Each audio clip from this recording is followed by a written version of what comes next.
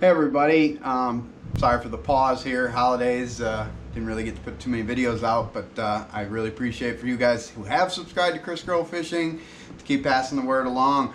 Uh, this little quick video is basically, I mean everyone knows the FG knot, but I'm kind of uh, going Seth Feider style here and going big line, um, you know 50 to 17, 20 pound fluorocarbon. Uh, I'm going to show you the way I like to do it and you know, not just because this FG is on heavier line, this is the way I tie it on lighter line when I'm using spinning tackle or whatnot. We all know the FG and how it stands for, and it's true. It's a really, really, really good knot. And uh, slick, compact, be able to get through the guides, uh, you know, especially with bait casting gear, it allows you to get into some cover and get some fish out that you wouldn't have with possibly straight fluorocarbon.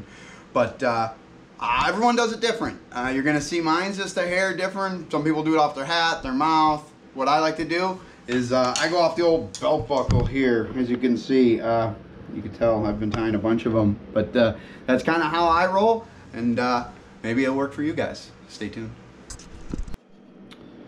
It's to be FG knot. I'm doing heavy line though. This is a 50 pound X5 braid to 17 pound 100% fluorocarbon. I'm to start, always start with it over, as you can see. But the thing here is, you start going away, then back to yourself. I'm going to do this 24 times. One, two, three, four, five, six, seven. If you notice, I kind of snug it when I come back around. Eight. I just shake the knot so I don't have any overlay. Nine. 10, 11, 12. I like to check at this point to make sure everything's laying nice. And that's a perfect, perfect start. So I'm going to go 12 more times. Let's go. 13, 14, 15, 16, 17, 18, 19, 20, 21, 22, 23, and now 24 will be the last. It'll be even. It's coming back to me, and that's where I'm stopping my knot at. So now I got 24, and look how perfect that lays. Okay, so now I keep this on this side. And the next step is I'm going to lay this up the line that goes back to the, to the reel. Cut it back here, leave myself some distance. Now I have my line going flush forward as you see here. I have my tag left of, of braid. I'm going to do two overhand knots. I like to keep everything kind of snug. Let the knot fall completely in place. This is the crucial part. This is where you lock. Then I like to do, scoot back for you a little. I like to do one more.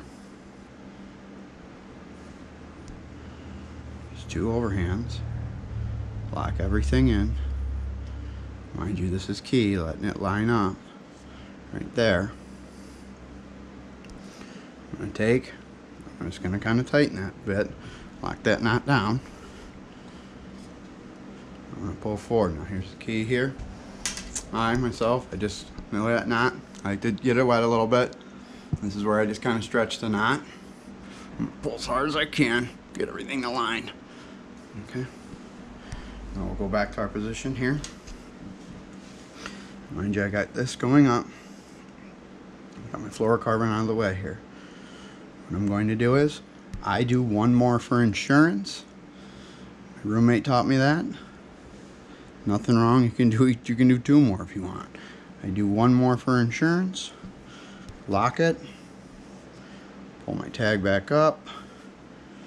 Lock everything. Find my scissors and I cut it as close as I can to the braid. And now, got that little tag of braid. Some people burn it, some people don't. I'll end up burning the uh, fluorocarbon at the end. Don't have a lighter handy, but it is what it is. But I'm going to put a bunch of these up in front just to protect it from going through the guides.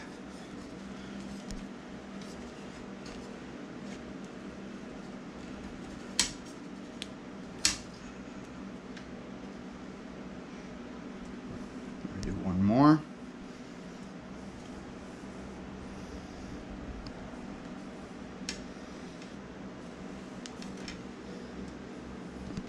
I'll, I'll burn that a little bit later.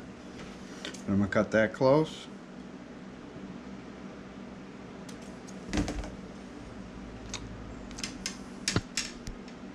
There you are. Perfectly clean FG. I gotta do a little melting, but there we are set.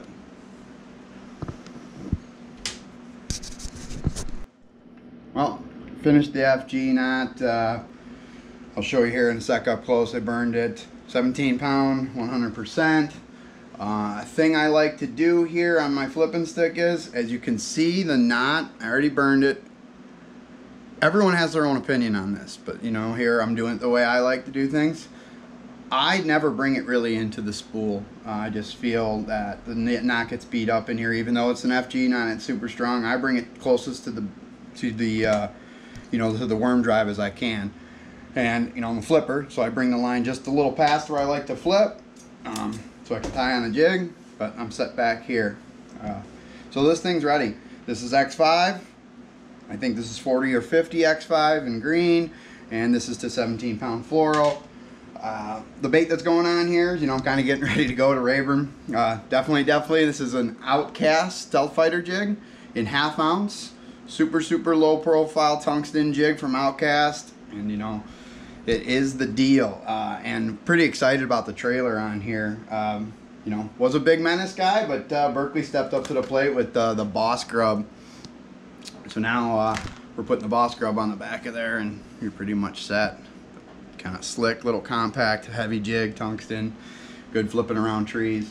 But uh, yeah, this is what I'm going to be tying on here. I'll give you a couple close-up shots of the knot, whatnot later on, but uh, take care, good fishing.